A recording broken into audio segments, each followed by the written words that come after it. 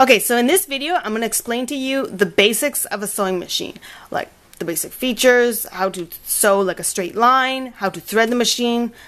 But of course, you have to read your manual instruction. And um, yeah, and if you buy your sewing machine from like the specialty shops, they normally give you like a first free class on how to basically use it. So you can take profit from that. Of course, you can buy the ones from Walmart. They work perfectly fine. Um, that was like, I got my first sewing machine there. So they're really cheap. So there's no worries. Just read the manual and um, watch this video. Okay, so I'm going to talk about the basics of a sewing machine.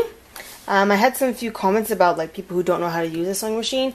Um, they're really cheap. You can get them at Walmart for like under $100. So even if you're just starting out and you want to do some sewing and start making your own things and items, of clothing, um, it's really not that expensive. Okay, so here's what a basic the basic machine is. Okay, um, let's see. Over here you have the needle, and this thing on the right is called the hand wheel. You see if I move this, the needle moves. So it's like manually to make it move, right? Okay.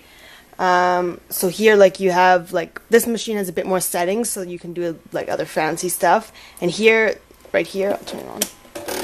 Here you can adjust like the length.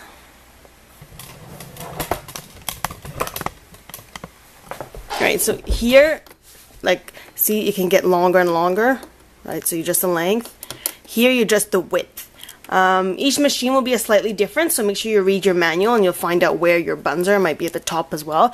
But this one is the width, so how wide the stitches are this way, especially if you're doing zigzags. So you want big zigzag or you want a little zigzag. And this is for as long stitches, right? Okay, uh, so over here we have, mine's a drop-in bobbin. Okay, so you have, for a basic sewing machine, you have thread from the top and thread from the bottom. Okay, so this is a bobbin there's thread on it, right? Okay, so you place it, it depends, of course, it depends on your machine. I place it down like this, and then I have this cover that closes on top, right? I really like how it's clear, because then I can see when the bobbin's to run out. So this thing right here, this is called the uh, presser foot. So it sits on your fabric, and then you can sew along to keep it down. These little teeth down here, Okay, so the teeth down here, these are called your feed dogs, and they help move the fabric, or else you'll just be sewing in one spot, right? So they'll help move the fabric along, okay? Um, what else? And this is called the, um, what is this called? The throat plate, this metal thing here. Really not that important for you. Um, over here, like watch, this thing that moves, This thing helps guide the thread because you have to thread thing, thread it through the machine and this is what the take up lever and um, it goes down here and it goes down here and the thread right here. To control the machine, it's this is the foot pedal so when I push on this the machine will start sewing. Okay, um, but my machine doesn't sew because you have to have the presser foot down. Mine's a bit more. Yeah, but normally when you push on this, this is the control. It's like a gas, like driving a car, so you use this. I'm going to show you how to thread my machine. I use these larger spools of thread because I do a lot of sewing. So normally, if you have a smaller one, you can fit it in here, but mine doesn't. So I have this stand. See, this is like a little hook, and then there's a base down there. So take the thread, place it on the hook. I come around here.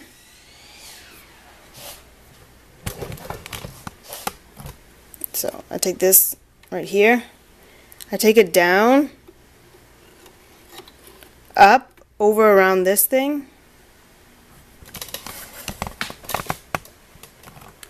It goes down here, underneath this, down here. I place the presser foot down because then you have more space to get it on the needle right here. Underneath this guide.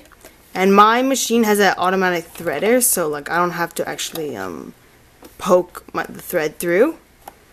So go like this, pull it up, this is the bobbin, right?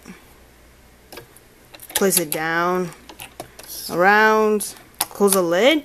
And now that this thread is like coming out from the side here and you want it to be over here, so what you do, you take the hand wheel, always make it go towards you, and you go in and then you gently pull this out, a loop will come, and then that way you'll have the bobbin thread coming out from this hole in the bottom right here instead of coming out from the side here. So then now we're ready to start sewing. In your machine, um, your bobbins are not wound up for you. So like I have thread on this, but I'm going to just show you how to put more thread on it. So normally there's like a little groove right here.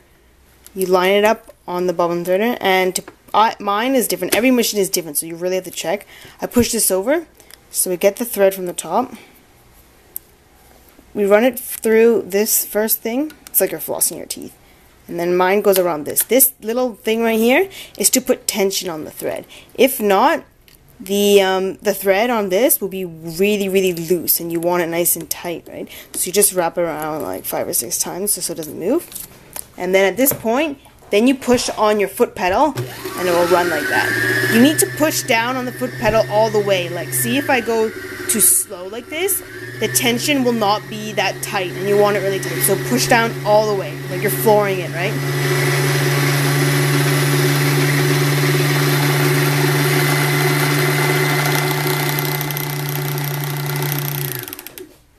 And so then now we have thread on it. Okay, so now we're ready to start sewing. So we have the thread in the machine. Um, I'm have a I'm on a standard um, um, straight stitch. So look, this is right here, straight just down the middle. Um, so this is like the factory settings. Like, okay, so there we go. These numbers on the side is a seam allowance. The standard seam allowance is 1.5 centimeters. So this is how to help you guide it so that you don't sew like all wiggly, all not, because you want to be nice and straight. So what you do, there's these lines here, and as you sew, you keep this edge, like, you normally don't watch where the needle is actually going, because then you'll be too wobbly. So what you do, you line up the edge of this fabric here to this 1.5 line. Of course, if you want like a larger seam allowance, then you can line it up with the 2 centimeters or 2.5. Or of course, if you want smaller, and also see this needle? Here, there you can see better. Like I can move it sideways. Sorry. See? And then watch is going to move on to the other side. Watch and move. Right. Okay, so that's another way so that if you want to have a larger seam allowance, but normally the needle would be normally in the middle. So like that's in the middle. Okay, so we'll just try this.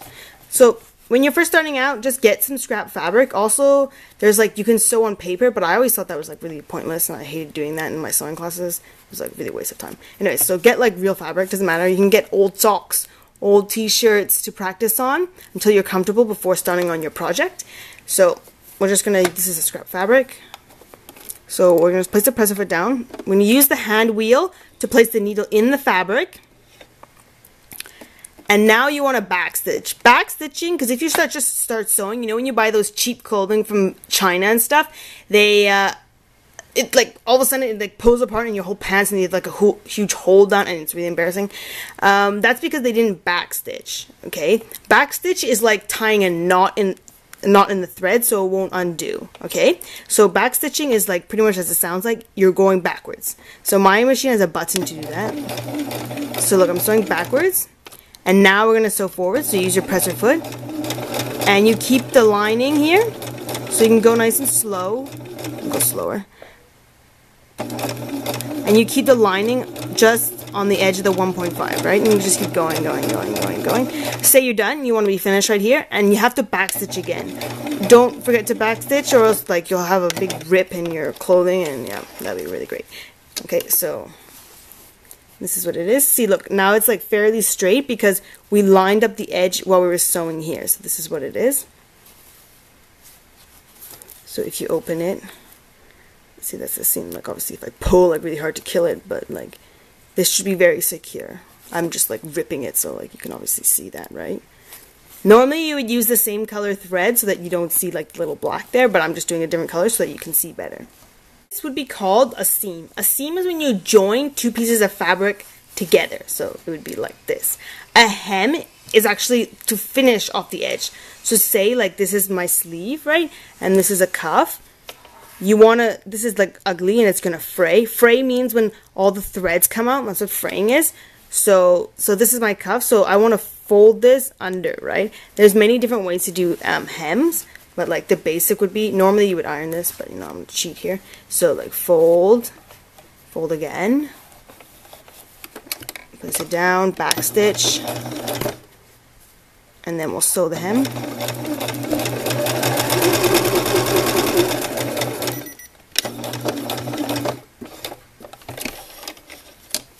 Okay, so this is what the hem is, right? See, yeah, I did really fast, so it's really ugly. But there you go. So this is a hem, and this is a seam, just like this. And normally, if you don't have a serger, to finish off your seams, they recommend, it's, well, it's recommended to. Sometimes I don't. Depends on what you're doing and how fast you want to make it. Um, you use a zigzag stitch. So this is a zigzag. I'll show you what it looks like. So you go next to it. And sometimes you can line up this, the black sewing line with the edge of your presser foot or with like the center. So I'm going to do it like this. Place it down. See it moves side to side? That's what it's called a zigzag stitch.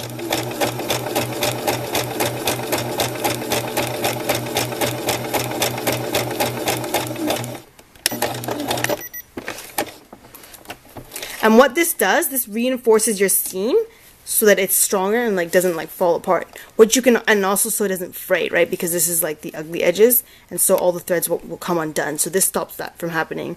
You can also use pinking shears. Pinking shears does a similar effect. I'll show you what it looks like.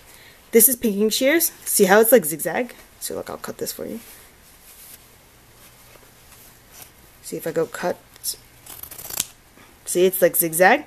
That's what pinking shears does. So sometimes when I'm um, cutting like like really fragile fabric, then it frays all over the place, so threads are getting all of this, and this comes undone. See, this is what the fraying is. See this? See this thread coming out? Yeah, that's really annoying, okay? Um, especially when it happens a lot, and then all of a sudden your fabric's getting smaller and smaller, and then it's not going to fit you, right? So you want to like make sure of that. So using these kind of scissors can help.